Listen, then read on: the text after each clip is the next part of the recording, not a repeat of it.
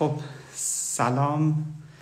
سلام می‌کنم به شما دوستان عزیز. خیلی خوش اومدید به این لایو.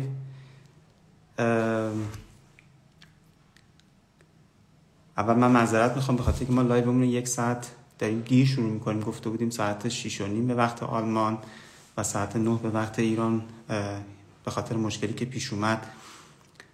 مجبور شدیم که لایو رو یک ساعت با تأخیر شروع بکنیم.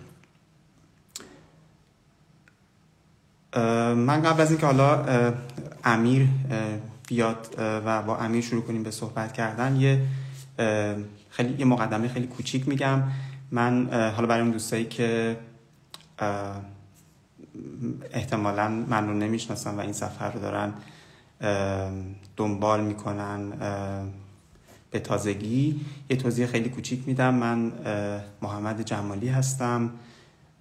توی ایران پزشکی خوندم و بعد برای در واقع ادامه تحصیل اومدم آلمان سال 2016 پنج سال پیش. و الان هم رزیدنت سال چهار توی رشته قلب و عروق هستم. توی ایالت نورد وستفالن و اون زمان که من اومدم آلمان همون ابتدا یه گروهی رو شروع کردیم با یه گروه تلگرام درست کردیم از دوستای خیلی صمیمی و اونجا برای هم می نوشتیم که مثلا من امروز این کار کردم یا اون موقع حالا درگیر خب امتحانا بودیم برای هم می نوشتیم که چی کار داریم می‌کنیم؟ هر کی مشکلی داشت توی گروه می نوشت و این گروه یواش یواش رشد کرد. بزرگ و بزرگ و بزرگتر شد تا اینکه الان بعد از پنج سال این گروه تقریبا نزدیک به هزار عضو داره یه چیزی کمتر از هزار نفر و توی این گروه خیلی ها تونستن در واقع سوالاشون رو مطرح کنن جوابشون رو بگیرن و با کمک هایی که گرفتن خب اومدن آلمان و بعدا برای من نوشتن و من خیلی خوشحالم که این گروه تونست به بچه ها کمک کنم گروه های خیلی زیادی هستن الان در حال حاضر توی تلگرام که مشابه این گروه دارن کار می‌کنن و گروه من هم یک, یک گروه مثل بقیه گروه ها و داره کار خودش رو می‌کنه. منتها یه مشکلی که از در واقع توی این گروه من دیدم این بود که در واقع بچه ها سوالایی که میپرسیدن خیلی وقتا من جواب سوالا رو نمی‌دونستم. مثلا در مورد رشته رادیو میپرسیدن ولی مثلا هیچ اطلاعی نداشتم و بعد روزانه خب سوالا زیاد بود پیاما زیاد بود و من خیلی وقتا فرصت نمی کردم که به این سوالا جواب بدم. اینه که تصمیم گرفتم که این ایده در واقع این لایو از اینجا شروع شد که من تصمیم گرفتم که این لایو رو بسازیم با یکی از بچههایی که خب اینجا رزیدنت رادیو هستش و کاملا اطلاع داره و این مراحل طی کرده اومده رسیده. تصمیم گرفتیم که بیایم و در مورد رشته رادیولوژی به صورت خاص و در مورد ادامه تحصیل برای پزشکا به صورت کلی تو آلمان صحبت بکنیم.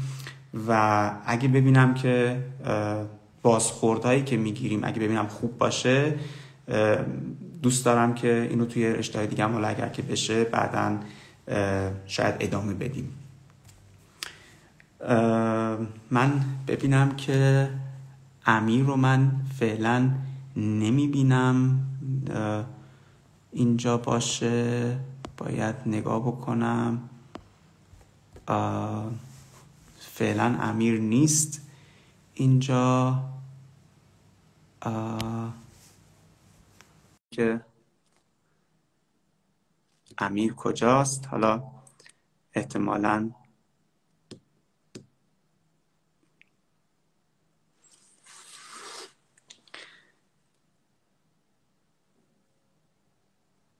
آره.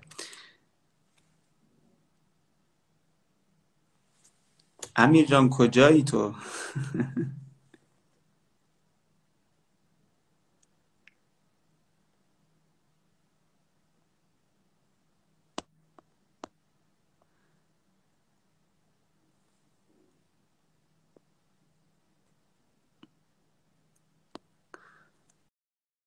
من نمی‌دونم حالا چه مشکلی هست. ارتباط من با امیر نمی‌دونم چرا اینجا. وصل نمیشه. دوباره من درخواست فرستادم.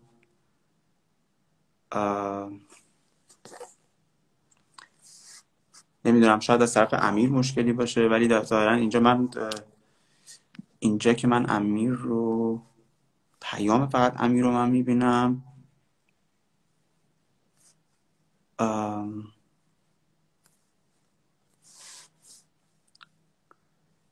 خب ظاهرا مثل اینکه ما یه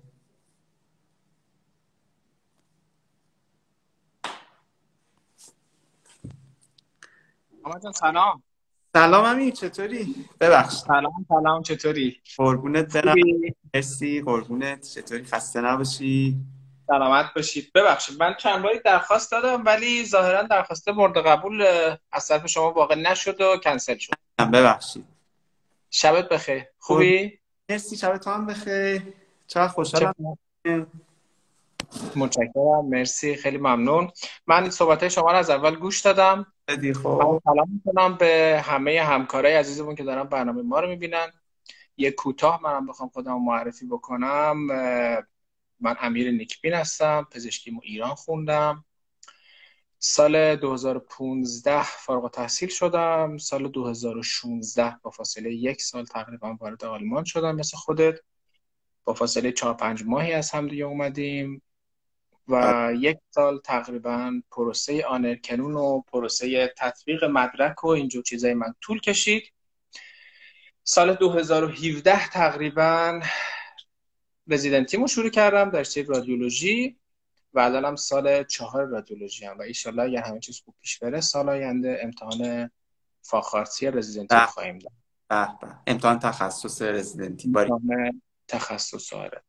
من هم خیلی تشکر می‌کنم در درجه اول از شما که اول همچین برنامه رو چیدی همچین گروهی رو تاسیس کردی. اول خب این گروه که در حد ده نفر شاید کمتر بود با یه هدف دیگه بود ولی خب به مرور بزرگ و بزرگتر شد. خیلی از دوستای مشترکمون توش هستن خیلی از افرادی هستن که این مسیر اومدن.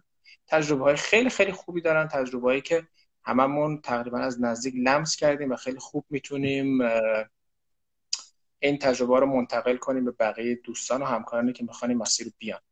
بله. و طبیعتا همونجوری که خود گفتی گروه های اینجوری خب زیاد هست و هر چقدر آدم توی مسیر اطلاعات کسب کنه کم و کم و کم بازم نیاز به اطلاعات بیشتر داره. خب من در خدمت شما هر سوالی که دارید بکنی تو توضیح دادی که ایران درس خوندی و سال کی اومدی و اینا. سوال اول. من اینجوری شد که وقتی که روزی که خب یه سری سوالا که همیشه می‌پرسن در مورد رادیو اینا که هست اون روزی که تصمیم گرفتم با تو لایو بذارم و بهت گفتم و تو قبول کردی توی گروه پست بعد بچه ها شروع کردن سوال پرسیدن. سوالا خیلی زیاد بود سوالای بی ربط و با ربط. شروع کردم این سوالا رو سعی کردم یه ذره مرتب از بی ربط شروع کن. چی؟ از آره. مثلا در مورد حالا خیلی چیزا. بار پرسیده بودن که مثلا چند کیلو بار مثلا با خودت می‌تونی از ایران بیاری خب. آره. ولی حالا اینو می‌خواستم بگم. من این سوالا رو همه رو اینجا مرتب کردم تقریبا که ما اگه از یه جایی شروع کنیم آخرم به اون در واقع حالا رزیدنتی و اینا برسیم. سوال اول که می‌خواستم بپرسم سابقه تحصیلی ایران بود و سابقه کاری تو آلمان که یه مختصری توضیح دادی. اینجا نمی‌خوای چیزی اضافه بکنی؟ تو ایران درس پنج سال اومدی رزیدنت سال چاری و اینجا هم که گفتی کارا خوب خیلی خوب انجام شد. بذار اینجا من یه آها بذار اصلا اینجوری شروع بکنیم. ببین خیلی می‌پرسن چرا آلمان؟ من خب اصلا بپرسم اصلا چی شد؟ چرا مهاجرت؟ و یعنی هدف تو اصلا از مهاجرت چی بود؟ یک. و بعد تو چرا اصلا آلمان رو انتخاب کردی؟ اوکی. ارزم به خدمت شما که اولا مهاجرت یک بحث یک تصمیم کاملا شخصیه و تصمیمی کاملا نسبیه. ممکنه نسخه مهاجرت برای یه نفر نسخه خوبی باشه ممکنه برای یه نفر نه نسخه خوبی نباشه. دقیقا یه چیزی مثل چه می‌دونم ازدواجه. ممکنه ازدواج برای یکی خوب باشه یکی بد باشه. این خود ماهیت تصمیم گیری برای مهاجرته. و دیگری هم خب کیفیت مهاجرت به کجا در چه مقطع زمانی به چه شیوهی به چه روشی. خب همه اینا تاثیرگذار روی نتیجه که قرار از مهاجرت گرفته بشه. و خود نتیجه گیری هم باز نسبیه. شاید دو نفر آدم که یه مسیر کاملا مشابهی رو اومدن کار کاملا مشابهی رو انجام دادن شرایط ایرانشون هم عین شرایط همدیگه بوده. ولی در نهایت می‌بینی که یکیشون آنچنان که باید شاید رضایتی از مهاجرتش نداره ولی اون که نه خیلی هم راضیه. من در مورد شخص خودم فقط می‌تونم صحبت بکنم و طبیعتا نمی‌تونم این نسخه رو برای کسی دیگه بپیچم یا به کسی پیشنهاد بدم و هر کسی خودش باید شخصی از دید خودش به این قضیه نگاه بکنه. خب شرایط پزشکی حداقل زمانی که ما توی ایران بودیم تقریبا 5 سال 6 سال پیش اواسط دوره های تر پزشکی خانواده بود. درآمدهای خوبی داشتن پزشکا پزشک عمومی درآمدهای حداقل خوبی داشتن. متخصصان درآمدشون خوب بود. از لحاظ مالی پزشک توی ایران هرچند الانش هم تحت مزیقه و فشار نیست. ولی آره. خب اون خیلی شرایط بهتر بود به نسبت الان. ولی خب با تمام این تفاصیل بحث مالی صد درصد نیستش و چیزای دیگه هم در کنار مهاجرت من می‌دیدم که تصمیم بر مهاجرت گرفتم. حالا اگه بخوام خیلی تیتروار بگم مثلا چه می‌دونم شرایط جامعه رو بخوای در نظر بگیری آینده شغلی رو بخوای در نظر بگیری امنیت اجتماعی رو بخوای در نظر بگیری امنیت اقتصادی هزار تا چیزی که هم من می‌دونم هم تو می‌دونی که داریم در مورد چی حرف می‌زنیم. بله. و همه اینا باعث شد که اول من به مهاجرت فکر بکنم. این در مورد اینکه چرا مهاجرت. دومین علتی که در کنار همه اینا بهم کمک کرد که بیشتر در مورد مهاجرت مصممتر فکر بکنم خب تجربه ای بود که دلم می‌خواست ببینم دنیا رو ببینم جای دیگه رو ببینم کشور دیگه رو ببینم فرهنگ دیگه رو ببینم و بالاخره برای ادامه زندگی که کجا بخوای زندگی کنی همیشه وقت هست آدم جای دیگه باز می‌کنه زندگیشو. ولی در کل در شرایط فعلی که اون موقع توی ایران من داشتم تصمیم بر مهاجرت بین کشورهایی که ما می‌تونستیم بریم طبیعتا کشورهایی که من بهش فکر می‌کردم خب آمریکا یکیش بود انگلیس یکیش بود کشورهای حوزه اتحادیه اروپا فرانسه و پرتغال بود استرالیا بود از کشورهای غیر اتحادیه اروپا. ولی هر کدومشون یه گیر و گرفتاری خودشون رو داشتن. مثلا آمریکا امتحان US رو با خیلی از پزشکای ایرانی که رفته بودن اونجا صحبت می‌کردم می‌دیدم که یه پروسه دو تا سه ساله بسیار زمان بر و بسیار خسته کننده است. بعد از اینکه تازه امتحان US رو شما میدی و وارد سیستم میشی یه خاکخوری سه چهار ساله حداقل داره تا بتونید وارد رشته های تیپ دو و چه بسا تیپ سه بشید این در مورد آمریکا. در مورد استرالیا اون تقسیم بندی که ظاهرا می‌کردن من همین اول صحبت هم, هم یه چیزی بگم که قطعا تو هم با نظر من موافقی. اطلاعاتی که من و شما داریم اطلاعات تقریبا چهار سال پیشه. زیاد آپدیت نیستش. هر کدوم از همکارا که الان تو مسیرن ممکنه چیز دیگه ای رو مطلع باشن که من و شما بازش خبر نداشته باشیم. آره. اگر چیزی اینجوری بود مسلما آخر بحثمون می‌تونن اضافه بکنن به صحبت ما یا تصحیح بکنن یا خود تو هم اگر چیزی از اطلاعات من احساس کردی که کامل نیست یا نیاز به تصحیح داره حتما بهم بگو. آره. ولی خب ادامه صحبت هم بخوام بگم استرالیا هم شرایط مهاجرتش پسند من نبود. مون بین کشورهای حوزه اتحادیه اروپا و انگلیس. که اون موقع من خب ارتوپدی می‌خواستم یا رادیولوژی و این دوتا رشته توی بقیه کشورهای مقداری سخت بود شروع بهش. با تحقیقاتی که اون موقع کرده بودم آلمان جزو کشورهایی بود که به شما این امکان رو می‌دادن که تو همچین رشته های تحصیل بکنید مثلا رو کاغذ شدنی بود توی مثلا انگلیس بشینی رادیولوژی بخونی ولی خب خیلی سختتر بود. در عمل خیلی خیلی سختتر واسه همین من به آلمان فکر کردم و مشکلی که اون موقع واسه آلمان بود خیلی بهش فکر نمی‌کردن زبانش بود. می‌گفتن زبان آلمانی زبان بسیار سختیه زبان زمان بریه زمان خیلی زبان قلقی نیستش. واسه همین خیلی نمیمادن به آلمان فکر نمی‌کردم. ولی خب برای من شدنی بود. بهش فکر کردم و آلمان انتخاب کردم. و تو زبان ایران شروع کردی به خوندن؟ یعنی آره من زبان و ایران همزمان با دوره انترنیم شروع کردم. تقریبا اوایل دوره انترنیم اواخر دوره اکسترنی بود که شروع کردم زبانو چقدر طول و... چقدر طول می‌کشه زبان خوندن؟ زبان آلمانی خوندن چقدر طول می‌کشه؟ ببینید شما چقدر طول می‌کشه تا چه به مقطعی برسی؟ شما باید اول مقصد رو مشخص بکنی. خب مسلما ما اگه بخوایم زبان آلمانی بخونیم تا آخر عمرمون هم بخونیم انتها نداره. ولی اون مقصدی که برای ما لازمه برای اینکه اقدام بکنیم اون موقع مقطع B2 بود. نمی‌دونم الان هم مقطع B2 هست یا نیست. اون چیزی که من شنیدم سه یکه. اون چیزی که من شنیدم سه یکه. ولی برای مقطع B2 خیلی بخوام شسته رفته بخوام بگم من تقریبا یک سال و نه ماه یک سال و ده ماه تقریبا دو سال زمان گذاشتم. با این پیشاگهی که همزمان با دوره انترنی من این زبان گذاشتم. و سهم زیادی از زبانم رو من بعد از فارغ التحصیلی خوندم. که زبانم خیلی بیشتر بود. دیگه کشی نمی‌دادم. زبان میخوندی امیر چند ساعت؟ ببین خب خیلی سخته من بخوام به تو الان بگم 5 6 سال پیش چجوری ولی می‌تونم بگم میانگین اون روزای آخری که تقریبا 6 ماه آخری که دیگه فارغ التحصیل حالا بچه‌ای که می‌خوان بیان آلمان اینه. میگن که ما چقدر باید بخونیم؟ زبان بخونیم. چند ساعت در روز زبان بخونیم؟ چه مدت زبان بخونیم؟ چون همونطور که تو گفتی حالا گفتی ببین ب دو رو برای آلمانی می‌خواد. سطح بتسفای رو می‌خوایم برای آلمانی برای سفارت و وقت گرفتن. بچه ها آلمان که بیان برای فاخش پوفون برای در واقع گرفتن Approbation باید Fachsprachprüfung رو تو Niveau Niveau C eins باید پاس بکنن. بنابراین تو ایران B دو برای سفارت ولی اینجا C eins حالا سوال اینه که B دو رو که می‌خوایم بگیریم چقدر؟ چند ماه باید براش وقت بذاریم؟ و روزی چند ساعت؟ اینو یه حساب سرانگشتی اگه بخوایم بکنیم قشنگ میشه از روی ترما به دست آورد. ما برای مقطع ب دو آ یک رو داریم که دو ترمه آ دو رو داریم دو ترمه ب یک رو داریم دو ترمه تا اینجا شد 6 ترم و ب دو خودش چهار ترمه که جمعا میشه ده ترم. اگر ترمای فوق فشرده شما بخوای بری هر ترم یک ماه یعنی ده ماه. روی کاغذ شما ده ماه می‌تونی ب دو بگیری. ولی این برای کسیه که هیچ کاری نداشته باشه. پنج روز در هفته شیش روز در هفته. صبح تا عصر بره سر کلاس عصرم برگرده درس بخونه تا فرداش. دوباره بره کلاس.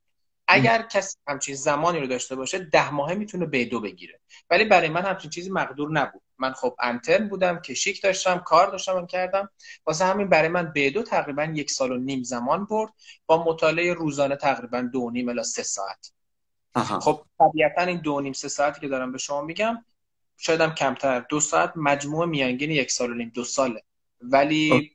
هشت ماه آخر که داشتم خودم برای امتحان ب دو آماده می‌کردم درسم هم تمام شده بود راحت به روزی 9 ساعت هم می‌رسید. روزی 9 ساعت روزی 10 ساعت. ولی خب اون 7 ماه من از مقطع آدو به ب دو خودم رسوندم. چون که مقطع خیلی کوتاهی بود ولی بار زبانیش خیلی زیاد بود. آها. خب بعد تو امتحان در واقع ب دو رو دادی بعد از یه سال ده ماه اومدی آلمان. خب بعد اومدی وارد آلمان شدی. حالا بهم بگو ببین فرض کن من بدو گرفتم اومدم آلمان. اینجا می‌خوام شروع کنم اشتله پیدا کنم به عنوان در واقع اسیستن آرس توی رشته ای حالا فرقی نمی‌کنه. چیکار باید بکنم؟ تو چیکار کردی؟ کلاس رفتی؟ چون در واقع اپروباسیون باید بگیری دیگه. چه راههایی هستش و تو چیکار کردی؟ اجازه بده من این سوال تو رو یه خورده جامعتر جواب بدم. راههای رسیدن به آلمان یا راه های ورود به آلمان؟ راه های رسیدن به آلمان. ببین خب این اطلاعاتی که باز میگم باز اطلاعات چهار سال پیش تاکید می‌کنم. اون موقع چندین و چند راه بیشتر برای ورود به رزیدنتی آلمان نبود. یه کاری که من و شما کردیم یعنی توی ایران مقطع زبان ب رو گرفتیم با مقطع زبان ب رفتیم سفارت. پذیرش برای کلاس های فاخش براخه و کلاس های کنتنیس پروفون گرفتیم و اومدیم با اون پذیرش اومدیم آلمان ویزای دانشجویی اومدیم آلمان. یه دوره سه ماه کلاس های فاخش براخه رفتیم که الان شنیدم توی ایران این کلاس ها هست. کلاس های فاخش براخه رفتیم امتحان فاخش براخه رو دادیم. بعد یه سه ماه یا چهار ماه هم کلاس های کنتنیس پروفونگ رفتیم بعد امتحان کنتنیس پروفونگ رو دادیم. بعد آپروباسیون یا پروانه تبابت آلمان رو گرفتیم بعد تازه شروع کردیم به رزیدنتی. این کاری بود که من و شما کردیم. یعنی کاری که همه چیز اصولی انجام شد پروانه تبابت رو گرفتیم بعد رفتیم شروع کردیم به رزیدنتی. خیلی از دوستای ما خیلی از همکارای ما وقتی که امتحان فاخشون رو دادن رفتن با یه دونه پروانه تبابت موقت شروع کردن به کار کردن رزیدنتیشون رو انجام دادن.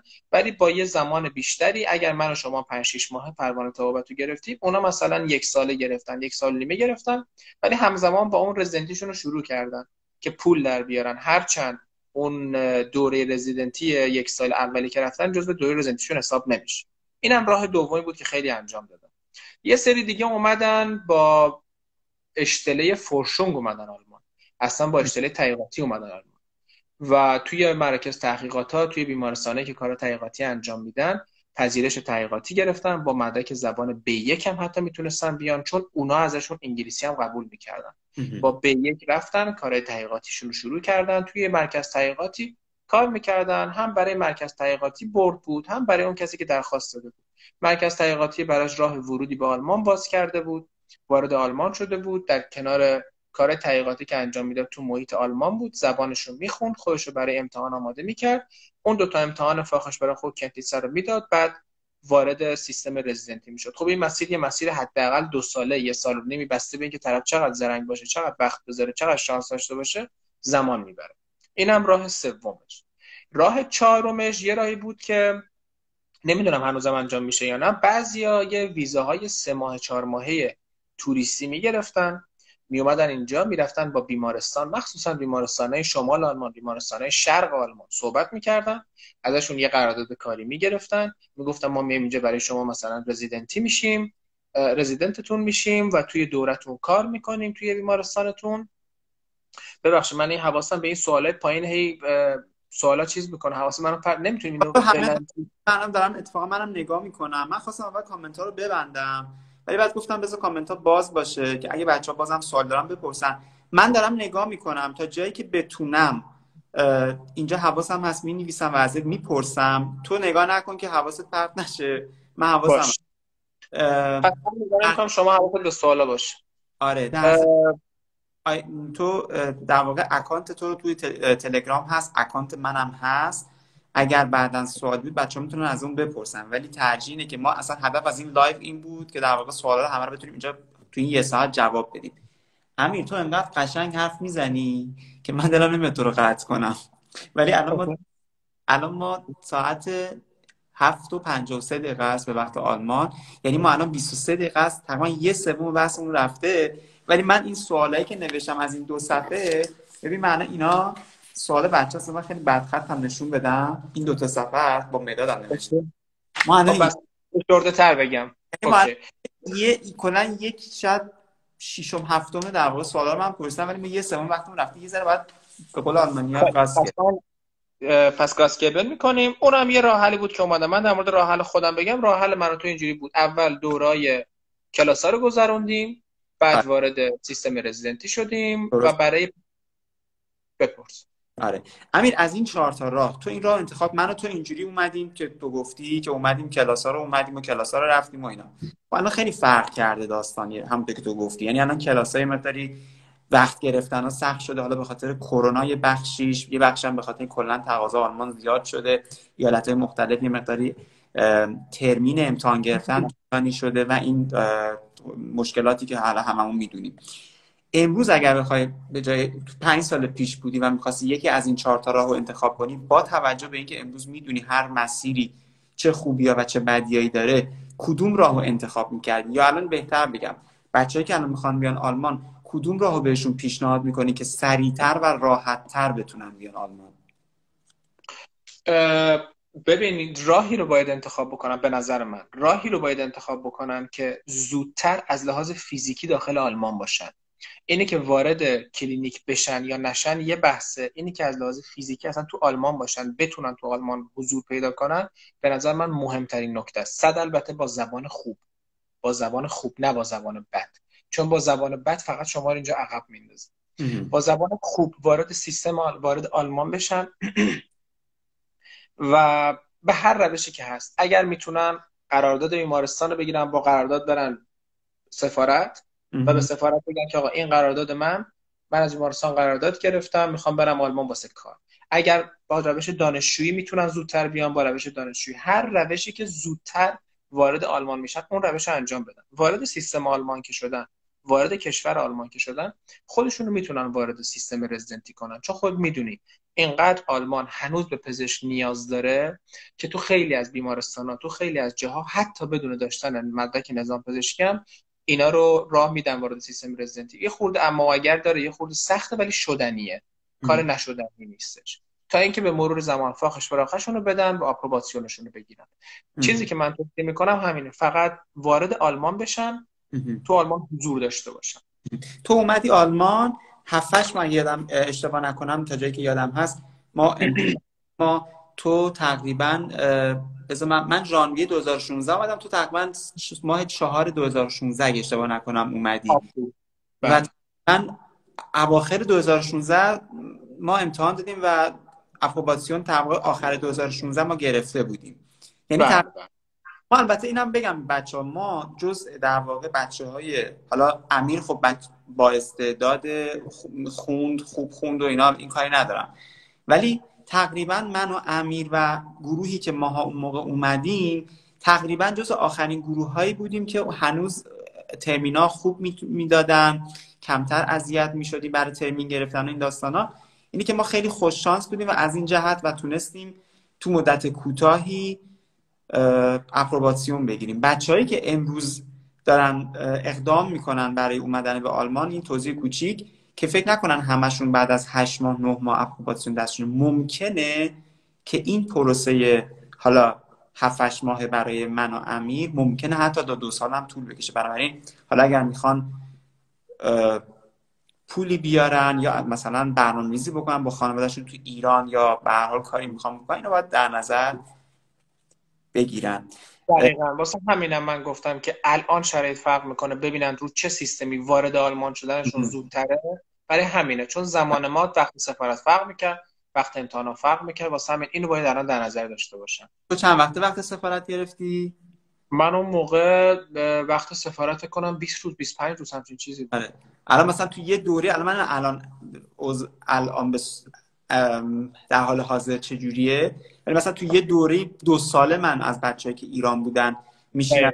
وقت میگن که فاجعه است. یعنی آدم شما یه وقت ساده سفارت رو برای دو سال دیگه شما اصلا چجوری یعنی هیچ برنامه‌ریزی نمی‌تونه عملا بکنید چون شما دو سال کجا هستی داری چیکار آیا بازم تصمیم داری مهاجرت بکنی یا نه. و این واقعا خیلی بد امیدوارم. البته بعد از اینکه اون شرکت ویزا متریک اومد و قرار شد که ویزای توریستی رو اونا صادر بکنن من شنیدم که خب خیلی وقتاش زودتر شد وقتی بچه‌ای که دانشجویی و مالا مهاجرت های کاری و اینا می‌خواستن بیان. و قرار اصلا این بود که ویزا متریک را بیفته به ویزاهای توریستی رو صادر کنه و بچههایی که می‌خوان درسی یا کاری بیان ترمیناشون رو زودتر بهشون بدن. امیدوارم که حالا این درست شده باشه تا حالا. اگرم نشده امیدوارم که درست بشه. خب امین خبر خوبی که من این وسط ببخشید کلامتو قطع می‌کنم. یه خبر خوبی هم که بخوام بدم یکی این که سفارت به افرادی که تو کاد درمان هستن و قرارداد دارن و یه جوری کاراتون تمام شده از یک وقتای فوری و سری میده. دوم اینکه سفارت همونجا که ویزای توریستی رو داده به یه دقیقه آن بیتا من دو سه روز پیش از یه نفر شنیدم که داره ویزاهای دانشجویی هم میده به یه دقیقه آن بیتا یعنی یه شرکتی مثل ویزا متریک قرار بیاد که کار دانشجویی هم تقبل بکنه که شامل باد پزشکا هم میشه. حالا ادامه سوالاتو. خیلی عالی. امین یه سوال کوچولو. تو گفتی از طریق مؤسسه اومدی زبان خوندی. دوست داری اسم مؤسسه رو بگی یا دوست داری چند تا مؤسسه این کارو می‌کنن می‌شناسی؟ فقط در حد پیشنهاد بگی مؤسسه که تو آلمان زبان خوندیم دیگه. مؤسسه که اومد زبان خوندیم و کندیس بوفونگو دادیم. دقیقا. اون موقع که ما اومدیم مؤسسه فیا بود. فایبورگ اینترنشنال آکادمی آره. مؤسسه بود که هاپزیست توی فرایبورگ بود که کلاساشو توی فرایبورگ و هایدلبرگ برگزار می‌کرد. به صورت تنبیه. الان نمی‌دونم چه جوری شرایطش. و مؤسسه خودش هم یه قسمت از امتحانا رو برگزار می‌کرد. مؤسسه خیلی خوبی بود خیلی سر وقت جواب می‌داد خیلی سر وقت ترمین می‌داد همه چیز. ولی الان حداقل من می‌دونم دو سه سال پیش اون خوبی که چند سال پیش داشت رو دیگه نداشت. خیلی سر شلوغ شده بود خیلی به هم ریخته بود. می‌دونم که تو اکثر ایالت ها مؤسسه های مثل فیا هست. خبرهایی که من شنیدم مؤسسهایی که توی ایالت برلین و ایالت هامبورگ هستن مؤسسه های خوبی هن. و بیشتر از اینکه به مؤسسه ها فکر کنن بچه ها به جایی فکر کنن که یک زودتر کارای پذیرششون انجام میشه و وارد کشور آلمان میشن. دو زودتر بهشون ترمین امتحان اپروباسیون چون که اگر ترمین امتحان اپروباسیون رو دو سه سال بخواد بشن خیلی عقب میافتن. آها. خب. تو اومدی با مؤسسه فیا کنتیس رو دادی. اول فاخو دادی بعد کنتیس رو دادی و بعد اپروباسیون رو گرفتی. بعد تو شروع کردی تو می‌خواستی رادیو بری از اول یا اینکه حالا چیکار کردی؟ بعد اشت... اصلا آها اینجا ما توضیح بدیم که بعد از گرفتن اپروباسیون پیدا کردن اشتله است. اشتله رو چجوری پیدا می‌کنیم اشتله ببین بابت اشتله اینکه شما چه رشته ای رو می‌خوای خب متفاوته. اشتله رو چجوری پیدا می‌کنیم ولی خب ما یه سری قوانین کلی داریم. در مورد رادیولوژی رادیولوژی پوست چشم پزشکی جز رشته های محبوب آلمانن. امین ببخشید که باید قطعت بکنم. نوشتن که کلمات فارسی بیشتر استفاده کنیم راست میگن. من خیلی سعی می‌کنم کلمات فارسی استفاده کنم ولی شاید اشتباه کردیم. چند جا آلمانی حرف زدیم سعی کنیم از بعد همه کلمات و معادل فارسی شو استفاده کنیم. باشه باشه چشم. Stelle فارسی چی میشه؟ position کاری position هم انگلیسی ولی position رو شاید همه بفهمن Stelle رو آره. نکردن position رزیدنتی رو شما که بخوای بگیری برای این سه تا رشته مقداری سخته. برای همین اگر که کاری که خود من کردم. اگر که بخوای تو رشته رادیولوژی پذیرش بگیری شما اینو می‌دونید. یا اگرم نمی‌دونید امین یه بار دیگه بگو. یه خورده اجازه بده اول در مورد سیستم رزیدنتی آلمان بگم که بچه ها بدونن این اول صحبت هم یعنی چی. ما تو رزیدنتی آلمان برخلاف ایران امتحان آخر دور است. ما تو ایران اول دور است آلمان آخر دور است. سیستم هم اینجوریه که شما وارد میشی. وقتی که مثلا رزیدنتی ارتوپدی شروع می‌کنی به شما یه لوگ بوک ارتوپدی میدن.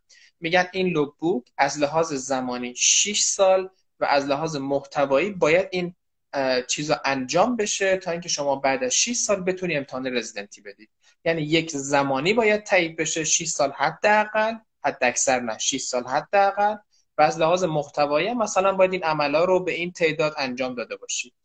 و شما 6 سال وقت داری حداقل اینو پر بکنی. بعد از 6 سال که لوگویت پر شد خودتو معرفی می‌کنی به اداره نظام پزشکی.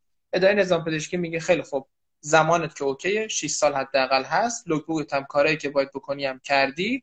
خب حالا ما تو رو معرفی می‌کنیم به امتحان فاخارت و امتحان تخصصی تو میدی. واسه همین خیلی از رشته ها با هم همپوشانی دارن. یعنی خیلی ها میان رشته هایی رو شروع می‌کنن یا در وسطش به رشته های دیگه میرن که از لحاظ زمانی جزو اون زمان اصلی اون رشته حساب میشه. مثلا تو رشته رادیولوژی ما دو تا سه تا رشته بیشتر تو آلمان نداریم که پنج سالن. یکیش رادیولوژی یکیش پوست. اگر اشتباه نکنم اون یکی پاتوه بقیه رشته ها 6 سال است دوره های رزیدنتیشون. مثلا شما تو رشته رادیولوژی میگن به من پنج سال فرصت داری که رادیولوژی رو بخونی. ببخشید دوباره تصحیح می‌کنم حرفمو. پنج سال حداقل باید وقت بذاره برای رادیولوژی و این محتواها هم باید تو این پنج سال خونده باشه مثلا سه هزار تا گزارش کرده باشی سی تی اسکن پنج هزار تا عکس ساده ده هزار تا اینجوری. من این زمان رو اگر تو رشته های دیگه بذارم و وقتم رو جای دیگه صرف بکنم نظام پزشکی همه اون وقت از من قبول نمی‌کنن و از یه سری از رشته ها وقتای خاص از یه سری از رشته ها وقتای کمتر از بیشتر قبول کنم مثلا من اگر برم با داخلی شروع بکنم بعد از دو سال که داخلی خوندم بگم خب حالا می‌خوام برم رادیولوژی نظام پزشکی آخر سر که می‌خواد منو معرفی کنه به امتحان تخصص میگه از اون دو سالی که داخلی بودی من فقط یک سالشو برات حساب می‌کنم.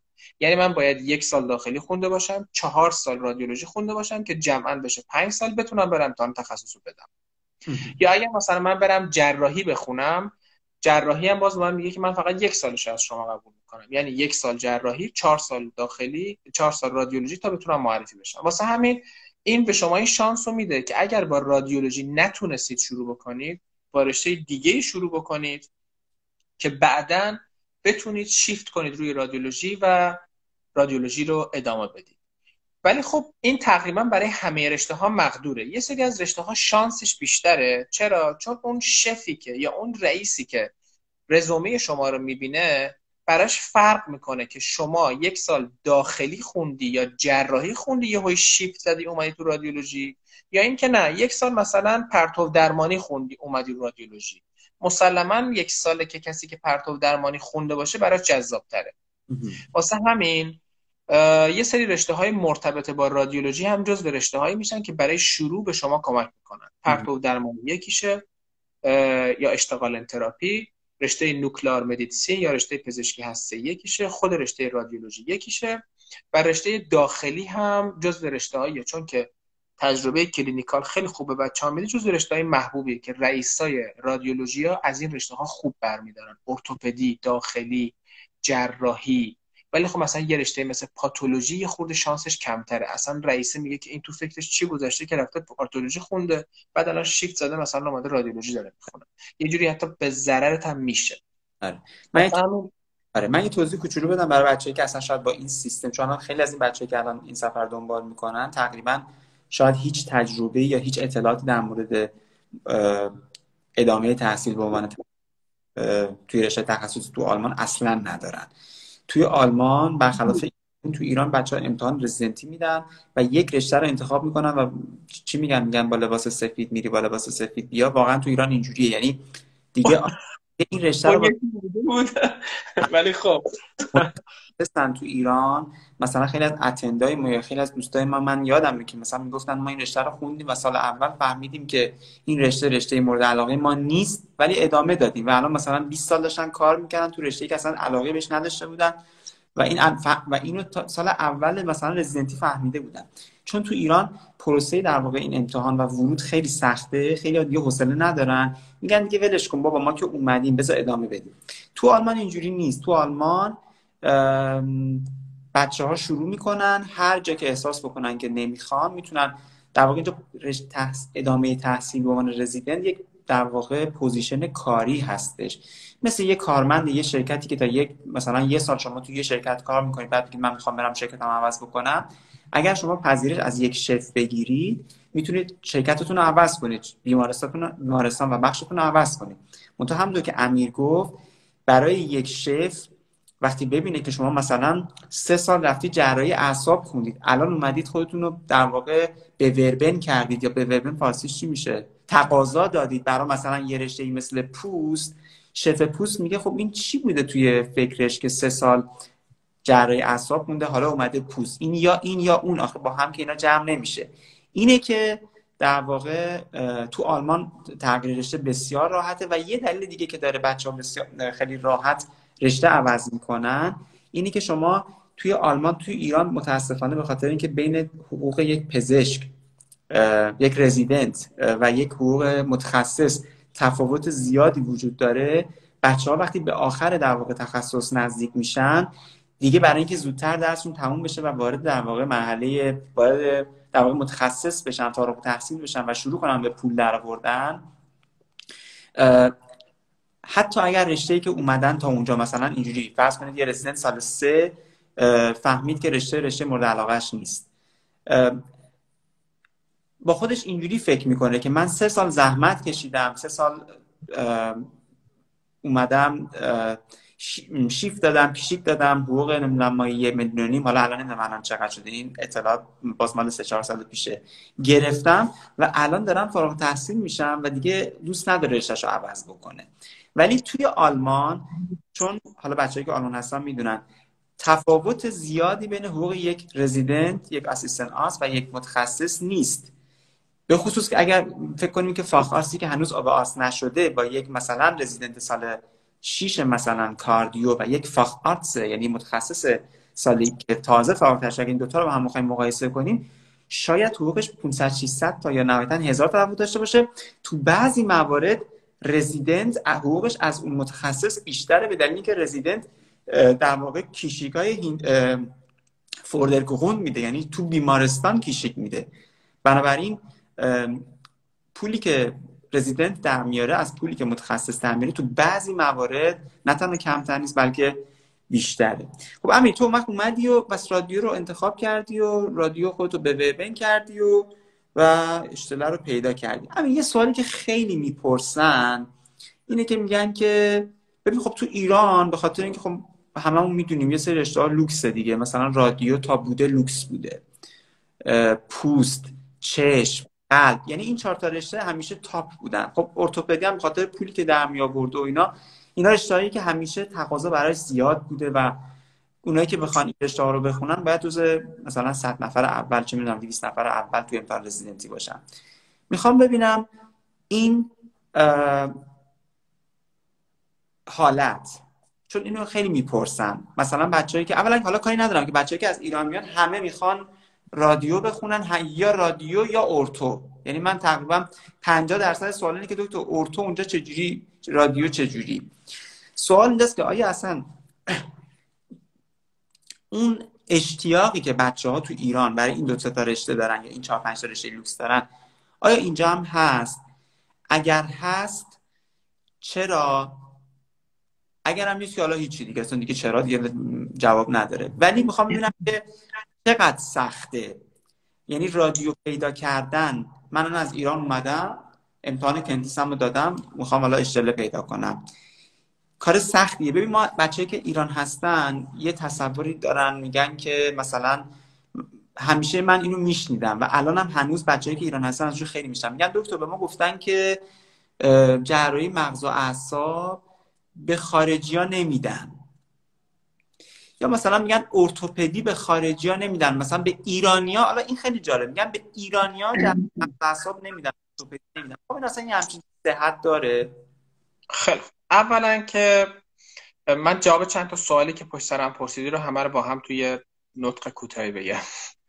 این صحبتی که هر جا شنیدید هر جا گفتن فلان رشته رو به ایرانیا نمیدن به خارجی ها نمیدن به چی نمیدن اینا این کلا کذب محضه. اصلا همچنین من چهار تا پنج تا بیمارستان کار کردم. چون اون دوره ای که من پروانه تقابت نداشتم چهار تا بیمارستان کارآموزی مختلف رفتم. از وقتی هم که رزیدنتیم شروع شده تو سه تا بیمارستان مختلف دارم کار می‌کنم. و تو تمامی رشته ها خارجی هست تو تمامی رشته هم ایرانی هست. شاید تو اون رشته بخوای پیشرفت بکنی به نسبت یک آلمانی باید بیشتر زحمت بکشی که کاملا طبیعیه کاملا طبیعیه.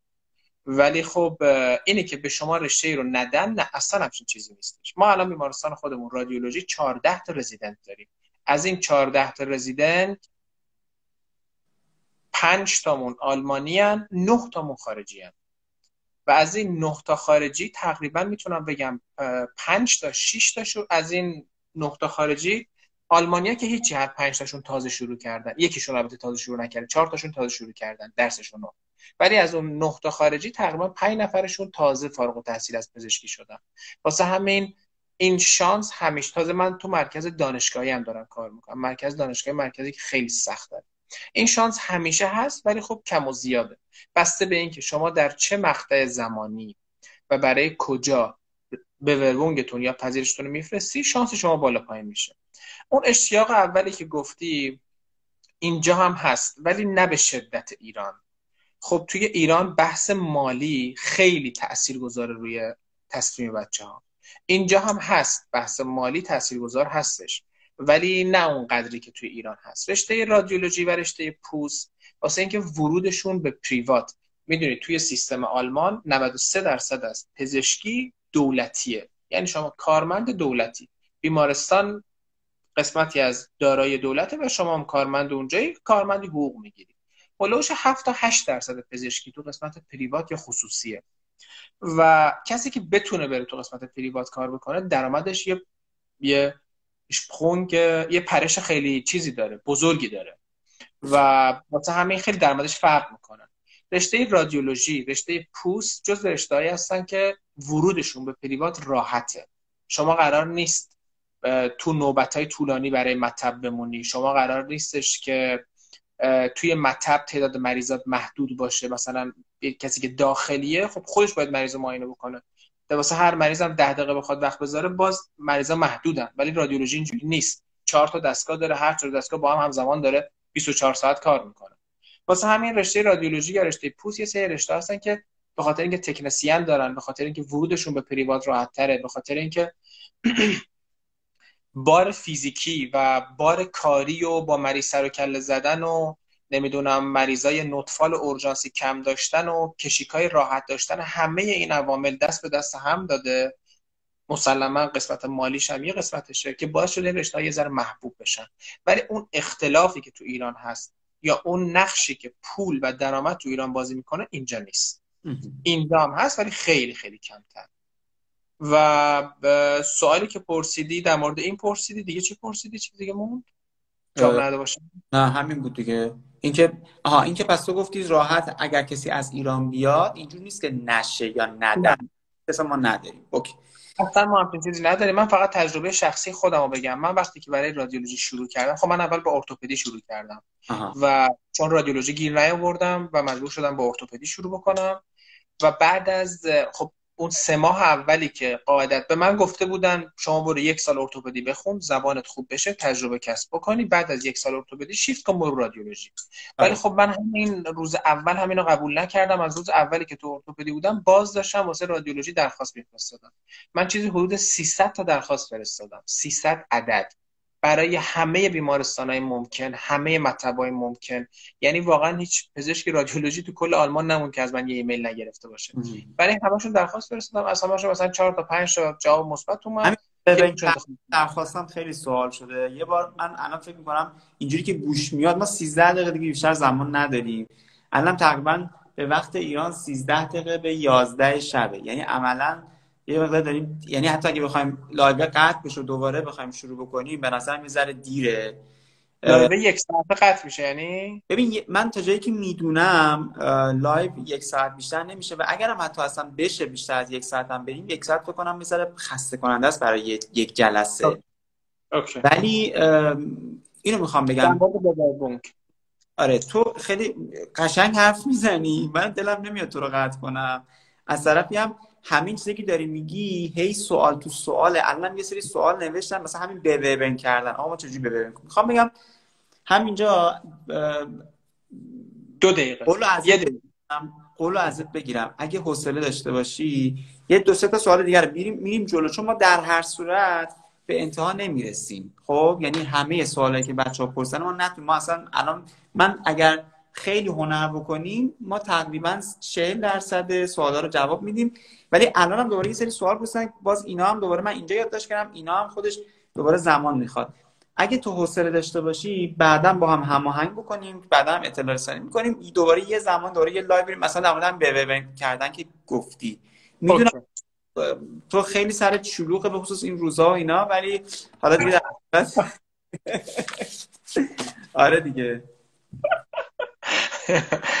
آره سرم یه مقداری شلوغه ولی خب اوکی هر موقع که هماهنگ کنیم با هم دیگه وقتشو می‌ذاریم که بتونیم به چهار نفر اطلاعات مفیدی بدیم. ولی در مورد دوم کردن که نفری اون پایین نوشته بود که چه چیزی توی سی وی مهمه. توی سی وی مقاله یا هر چیز دیگه که شما داشته باشی خوبه. کتاب نوشته باشی مقاله نوشته باشی کتاب ترجمه کرده باشی همه اینا خوبه کمک می‌کنه. ولی مهمترین چیزی که تو سیوی گذاره برای اینکه شما اون اشتله رو بگیرید فقط و فقط زبان و تجربه است. شما هیچ کتابی نخونده باشید هیچ بله. علمی نداشته باشید. نمراتون همه رو دوازده باشه. زبانتون زبان خوبی باشه. بی برو برگرد شما رو برمیدارن. زبانتون متوسط باشه. تجربه خوبی داشته باشید. مثلا تو اون رشته دو سال سه سال کار کرده باشید حتی دوره انترنی هم می‌تونید به عنوان تجربه کاری عرضه بکنید. اونا رو داشته باشی راحت می‌تونی یه اشتله رو بگیری. حالا پوست چشم هر چیزی که هست. مهمیه. به خصوص اینکه من می‌بینم بعضی از بچه ها میمونن تو ایران شروع می‌کنن تخصص شروع کردن. فکر می‌کنن که اگه تخصص بخونن بعدا بیان اینجا به عنوان متخصص راحتتر قبولشون می‌کنن. یا خیلی از بچه ها میمونن تو ایران بهشون میگیم خب چرا زودتر میگن ما داریم یه تحقیقی رو انجام میدیم. می‌خوایم تحقیق مقاله رو به چاپ برسونیم. بعد با این مقاله بیایم. بچه مقاله رزیدنتی تو ایران اصلا مهم نیست. وقتی شما سطح زبانتون خوب باشه توی اون در واقع مصاحبه ای که دارید با رئیس بخشتون بتونید خوب خودتون رو معرفی بکنید و بتونید خوب صحبت بکنید شما شانس خیلی بالایی دارید برای اینکه اون رشته رو بتونید بگیرید. مقاله همونطور که امیر گفت فقط توی بیا حالا ما اینم می‌خواستم صحبت بکنیم اصلا وقت نشد که ما سه نوع در واقع به سر شیوه می‌تونیم رزیدنتی رو اینجا بخونیم که حالا آکادمی لک خانکن هاوس هست اونیورسیته ها هستن و توی مطبع هستش. ولی می‌خوام اینو بگم مقاله فقط توی در واقع مراکز دانشگاهی یعنی اونیورسیته ها چیز هستش مهم هست اگه مهم باشه. و اونم فقط برای شفایی که کار تحقیقاتی یعنی ما الان تو مراکزی داریم که دانشگاهی هستن. شف علاقه اصلا به کار تحقیقات اونجا اصلا دیگه واقعا خیلی مهم نیست که شما چقدر 50 تا مقاله هم داشته باشید. مهم نیست فقط شما دارید وقتتون رو از دست می‌دید. برای نکته حالا ولی بعدا در موردش بیشتر صحبت می‌کنیم یه نکته دیگه هم که در مورد در واقع یادداشت کردم اینجا بحث مالی رو امیر گفت. این خیلی مهمه که ما بدونیم که توی آلمان پزشکا همونطور که امیر گفت من عددش رو نمی‌دونستم. امیر گفت 93 درصد من نمی‌دونستم 93 درصد ولی می‌دونم که درصد خیلی زیادی از پزشکا تو سیستم دولتی دارن کار می‌کنن. یعنی سیستم دولتی که منظورمون بیمارستانیه. دولتی صرفا نیست. ما خیلی از بیمارستان ها به صورت زنجیره‌ای هستن. تو سراسر آلمان و تو بخش خصوصی هستن. ولی در صورت سیستمی هستش که در واقع شما کارمند هستید. شما در واقع یک فردی هم مثل مثل یه نفر که تو بانک کار می‌کنه. اینجوری شما میرید صبح به صبح سر کار و ساعت 4 و 5 بعد میاد خونه. و حقوقی که بچه ها می‌گیرن ما دو سه تا تعرفه بیشتر تو آلمان نداریم. که من حالا اگه تونستم بعدا جدولش رو یا تو اینجا می‌ذارم یا بعدا به ریز در موردی صحبت می‌کنیم که بهتون میگم که بعدا بچه ها توی هر در واقع توی, توی رشته های مختلف بسته به سالشون سال رزیدنتیشون و بسته به اینکه حالا متخصص هستن یا نیستن یا فاخ در واقع اوب آرت هستن اتند شدن یا نشدن اینا یه درآمدی دارن. و این در واقع تو کل آلمان درآمد تو رشته های مختلف یکسانه یعنی رزیدنت سال یک تو رشته درما و رزیدنت سال یک تو رشته مثلا نوروسرجری اینا دو دوتاشون یه حقوق می‌گیرن. فاخ آرتس هم که میشن را بین رادیو و رشته اطفال تفاوتی وجود نداره. تفاوت تو کجاست؟ تو میزان در, در واقع شیفتاییه که بچه ها میدن. یعنی ممکنه یه رزیدنت رادیولوژی شیفت کمتری بده حتی حقوقش از اون کسی که اطفاله کمتر هم باشه. تو Facharzt ممکنه Facharzt رادیو باشه. دو تا در واقع Hintergrund بده تو ماه. ولی Facharzt ی که تو اطفال هست در واقع Hintergrund های بیشتری بده و حقوقش بیشتر باشه. یعنی اون چیزی که اون ایده ای که چون بچه‌ای که از ایران میان یا الان بچه‌ای که تازه میان یا بچه‌ای که تو ایران هستن اصلا تصور کاملا اشتباهی دارن در مورد رشته. یعنی تو مثل اون چیزی که ما هممون تو ایران دیده بودیم دیگه. اطفالیا کم در میارن رادیو پوست و ارتوها زیاد در میارن. به خاطر همین رشته لوکسن. اینجا اصلا این وجود نداره. همه تقریبا مثل هم در میارن مگر اینکه مگر اینکه همونطور که امیر گفت خب تو بعضی از رشته ها خاکسیس کلا مثل مغازه است بیزنسش یه مقداری در واقع بیشتر میچرخه بیشتر توش پول در میاد. بیشتر شما شانس دارید که مطب پیدا کنید که بتونید به عنوان در واقع مطب خصوصی کار بکنید. ایناست که در واقع فرق هستش.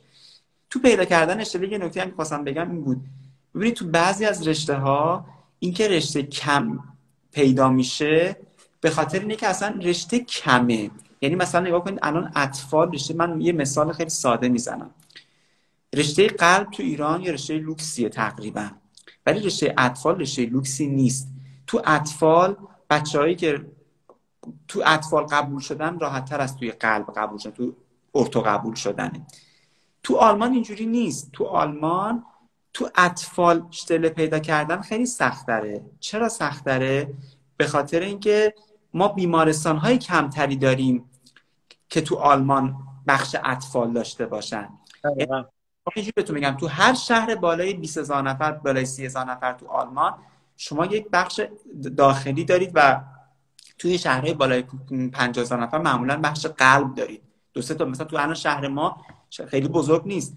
ولی سه تا بیمارستان سه تا بیمارستان داریم که بخش قلب داره. بنابراین قلب پیدا کردن خیلی راحته. ولی شهر ما بیمارستان اطفال نداره. بنابراین اینجا کسی نمی‌تونه رشته اطفال رو بخونه. می‌خوام بگم این خیلی بستگی به این داره که اون رشته چقدر فراوون باشه. این صرفا سخت بودنش بس این نیستش که این رشته لوکسه یا این رشته درآمد بیشتری داره. فاکتورهای دیگه هستن که اونو بعدا یه بار در موردش صحبت می‌کنیم همین یه سوال یه سوال دیگه من می‌پرسم. ما پنج دقیقه وقت داریم ولی من خواهش می‌کنم که دو سه دقیقه جواب بدید باید اینو ببندیم. یعنی باید قطع بکنیم قبل از اینکه یک ساعتمون کامل بشه.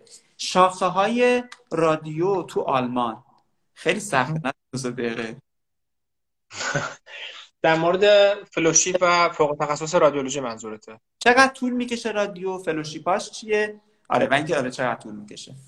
رشته رادیولوژی 5 سال دوره رزیدنتیش یعنی حداقل شما باید 5 سال رادیولوژی بگذرونی و rotation هایی که باید توی این 5 سال بگذرونی عکس ساده است سونوگرافی امارای سی تی اسکن و intervention ه این 5 تا rotation ها رو باید بگذرونی و هر کدوم از اینا یه تعداد معاینه خاصی رو باید انجام بدید مثلا برای امارای باید شما در طول 5 سال 3000 تا امارای انجام بدید یا مثلا برای حالا رشته های دیگه برای برای قسمت های دیگه مثلا سی تی اسکن 5000 تا مثال دارم می‌زنم. این در مورد خود دوره 5 سال رادیولوژی.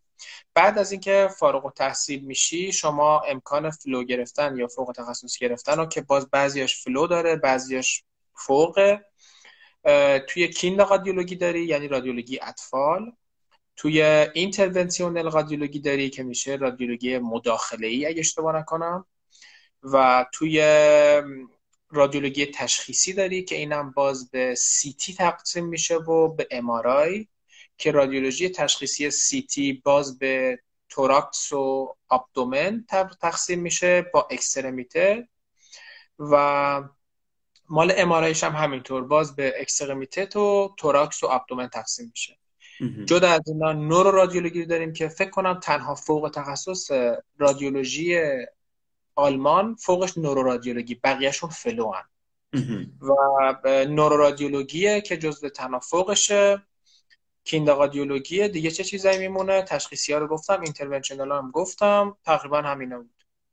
ولی خب کار دیگه ای هم که بعضی از رادیولوگا انجام میدن اینم به عنوان یک آپشن باید در نظر داشته باشیم اینه که درسشون که تموم شد همون صحبتی که اول کردم پنج سال میرن چهار سال میرن Nuklearmedizin می‌خونن میشن Doppelfacharzt دو تا Facharzt دارن. هم Facharzt رادیولوژی هم هم Facharzt Nuklearmedizin مجموعا نه سال باید رزیدنتی بگذرونن ولی خب بعضی که فارغ التحصیل میشن شانس خیلی خیلی بالایی دارن واسه رفتن تو مطب با حقوقای خیلی بالا. خیلی ممنون. مرسی امیر. قربون شما. دو دقیقه دیگه لایومون قطع میشه. من بازم ازت ممنونم امیر که قبول کردی. می‌دونم که خیلی کار داشتی امروز. و من دوباره از بچه ها معذرت خواهی می‌کنم. ما شدیم که دیرتر بیایم. ولی من واقعا ازت ممنونم. خیلی اطلاعات خیلی خیلی خیلی خوبی دادی. و من میگم متاسفانه ما نتونستیم همه سوال رو جواب بدیم. ولی من از این قول گرفتم. ایشالله اولین فرصت که توی ذره کارات انجام بشه و منم وقت پیدا بکنم حتما با هم دوباره قرار می‌ذاریم. دوباره با هم صحبت می‌کنیم. من هر وقت ببینمت خوشحال میشم. متشکرم. آره. قربونت برم. خیلی ممنون. مرسی که این برنامه رو هماهنگ کردی. بازم خب. ببخشید که اون یک ساعت اول تقصیر من بود عقب افتاد. نه نه نه. آره. و ایشالله برنامه های بعدی بتونیم بیشتر صحبت بکنیم و اطلاعات بیشتری رو به افراد بیشتری بدیم. مرسی ممنونم. امیر ازت شبتون بخیر. قربان تو. شبت بخیر. خدا. خدا خب بچه یک دقیقه نیم دیگه مونده. من خواستم یه جنبندی کنم ولی حتی فکر نمی کنم به جنبندی هم برسیم. ولی خب خیلی امیر خوب توضیح داد تقریبا همه چیزو و اکانت امیر رو گذاشتیم اونجا. اگه سوال داشتید می‌تونید ازش مستقیم بپرسید. اگر سوال دیگه ای مونده می‌تونید بپرسید از من. بنویسید برام. لطفا تا جایی که میشه فایل صوتی نذارید بنویسید راحت تره. فایل صوتی گوش کردن برای من سخته. و من اگر که واقعا خوشتون اومد از این لایو و بهتون کمک می‌کنه اینم برام بنویسید. اگه ببینیم که فیدبک ها خیلی خوب باز ها خیلی خوبه حتما این رو در واقع سعی می‌کنیم که ادامه بدیم. حتی تو رشته های دیگه بگید که تو چه رشته دوست بیشتر بدونید که ادامه تحصیل تو آلمان چجوری هست. و بگید که براتون چه چیزایی حالا سوالاتون رو بنویسید. من سوالا رو لیست کرده بودم. ببخشید از اونایی که سوالاشون جواب نگرفتم ولی سعی می‌کنیم که توی اگر کسی سوالش جواب نگرفته تو لایو بعدی حتما اگر لایو وجود داشته باشه سعی می‌کنیم که به سوالا جواب بدیم.